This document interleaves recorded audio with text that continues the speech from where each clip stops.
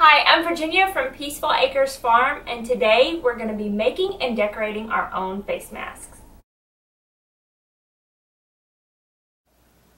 First, let's go over our supplies for this project. We've got a piece of parchment paper, a plate, and a paintbrush. A foam brush is what I'm using today. A piece of cardboard, a sewing needle, a circle of cotton fabric, and this is 100% unbleached cotton fabric. Some acrylic paint, some thread, a pair of scissors, and then I have some elastic for my masks, and I'm making two, so I'll need two pieces of elastic for each, so four pieces total. Um, so foam, craft foam, and yours might or might not have a sticky back on it. This is just regular craft foam, but they both work just fine. I have an iron-on vinyl transfer, and I have a piece of Publix grocery bag to act as a filter. It's a non-woven polypropylene fabric. So this mask comes from a circle of fabric, and all I did was take a plate and put it down on a piece of fabric and trace around it and then cut out my circle. So for our first mask, the very first thing we're going to do is decorate it. And I'm actually going to make my own stamp to stamp the fabric. And I'm going to do that with the craft foam that we talked about. So I'm going to use a pen and draw a design on my craft foam and then I'm going to cut it out with my scissors and then I'm going to use my glue stick to glue my design to my piece of cardboard, paint it, and use it to stamp the fabric.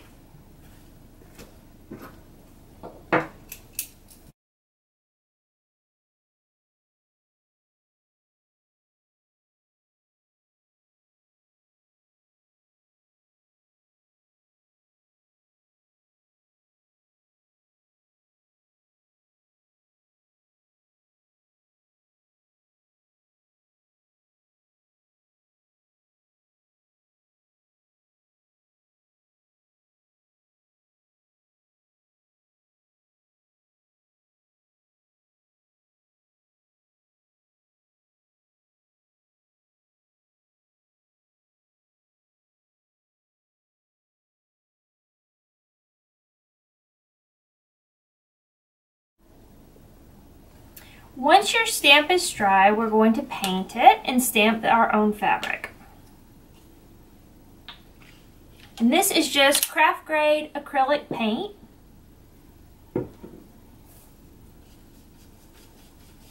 Try not to get the paint on the cardboard. Uh, it's okay if you do, but it helps if you don't.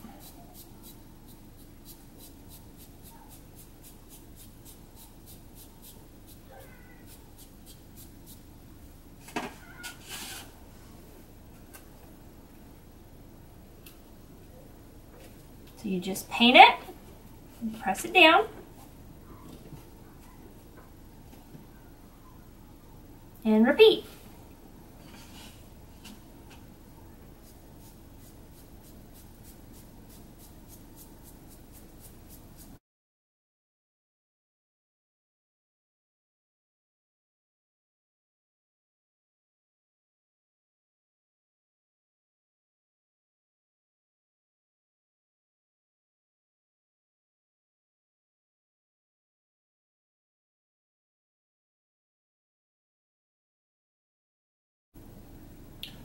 Once you've stamped your fabric and your design is dry to the touch, you can heat set the paint onto the fabric, making it where it won't wash off with a warm blow dryer, or you could use your uh, clothes dryer on a high heat setting, or you could go over it with an iron. Now to start making the mask, we're going to fold the fabric in half, and we're going to cut along this long side.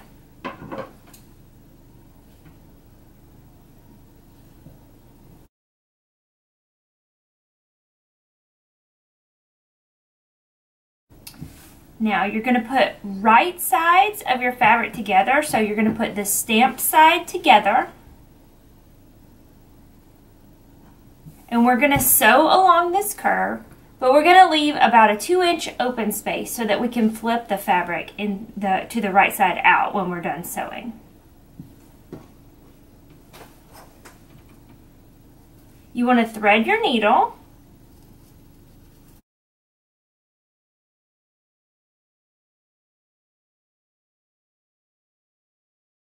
After you run your thread through your needle, you want to put a knot on the end so it doesn't come through the fabric. And you do this however you need to.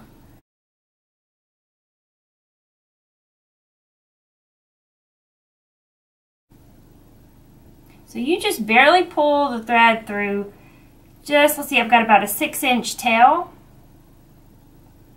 And we're going to start over here on the edge and we're going to stitch across, leaving that two inch gap about three quarters of the way through. So now that we have the knot at the end of the fabric, we're going to insert the needle into the fabric and pull it through. And you want to be sure and hold this right here because if you just keep pulling, then the thread will come out of the needle. So you've got to be sure that you have a hold of that. And you want to pull it through until your knot catches. Okay, so now we're just going to start sewing. And you can do whatever stitch you're comfortable with if you uh, have sewn before. I'm just going to get started and do a really quick one to show you guys. So I'm just going up and down the fabric up from the bottom, down through the top. And I'm doing several at once. Now the closer you stitch, uh, you make your stitches, the tighter it's going to be when you try to flip your mask. So it might be best for a mask to make close stitches, but I'm just going to do some big loose ones to speed it up a little bit.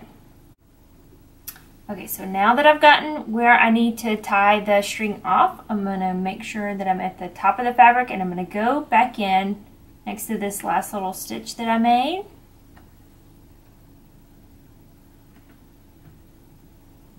And I am going to put my needle under this last stitch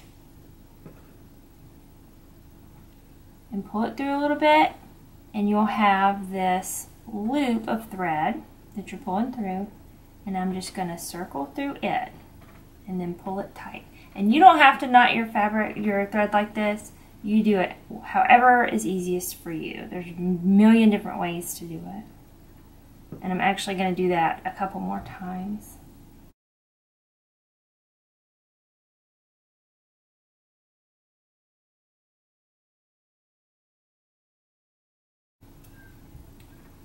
Now you're going to put a knot in the end of your thread again.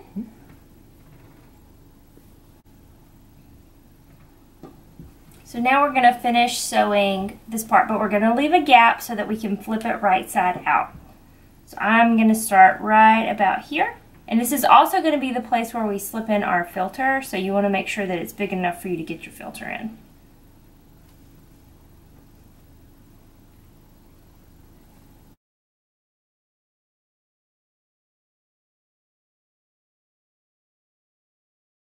just like that. And now I'm going to knot it right here, just like I did a minute ago.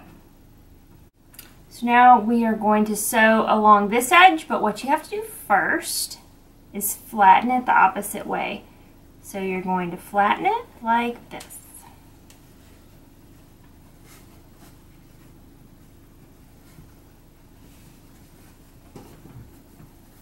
And you can kind of see the shape beginning to take place. And we are now going to sew along this line right here. And you're just going to sew all the way across, just like we did a minute ago. Except without leaving the break to flip it, you're going to sew all the way across. And there's the spot that we left open on the other side. So once you've sewn all the way across, we're going to flip it right side out and we're going to use that little hole that we left earlier. Uh, be really careful not to rip it when you flip it. um, and it, like I said earlier, it is really helpful if you put your stitches closer together than this. I was just trying to speed it up for the sake of the camera.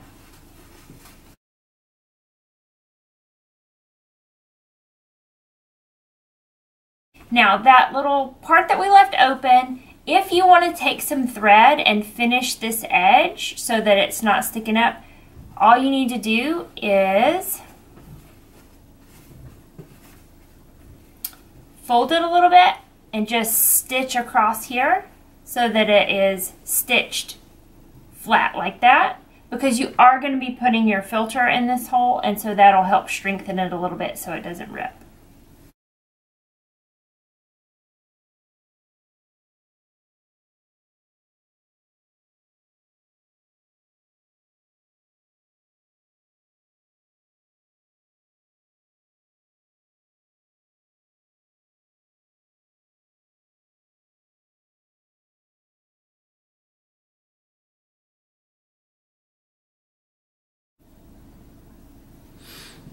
Okay, now we're going to fold in these ends right here and just do a couple stitches right here to hold that right there. And that's where we're going to feed the elastic through to go around your ears.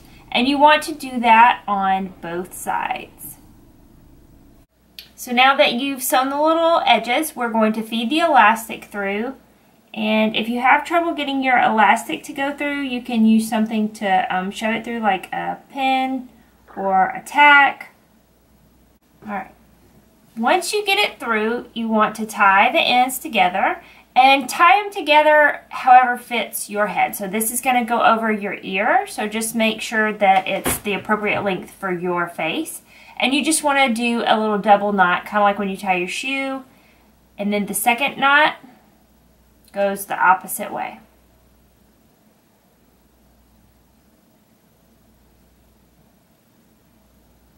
And then you want to pull the knot so that it is hidden right there. And if you want to trim the ends you can. And do that for both sides.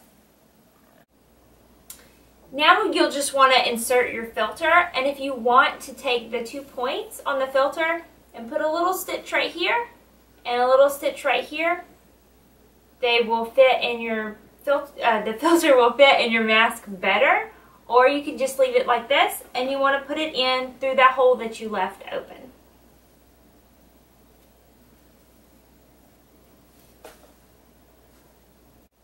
For your second mask, the one that we didn't decorate, we're going to do the iron-on transfer that you got with your supply kit. It's a good day to read a book. So you want to preheat your iron on the wool setting and the piece of parchment paper that came with it what you'll do is put the sticky side down onto your fabric, put the parchment paper on top of it, not on your hand, put it on an ironing board, and then you want to press down with medium pressure on top of the parchment paper for about 10 seconds. And then take off your parchment paper and try to slowly peel up the edge of the transfer paper, which is the clear paper, and see if your design sticks. And if it sticks, you can just slowly peel it off.